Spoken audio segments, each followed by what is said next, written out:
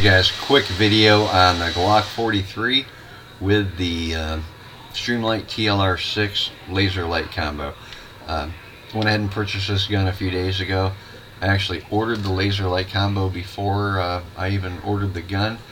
Um, mostly from the YouTube videos that I've seen uh, the guys have done on this laser and light combo.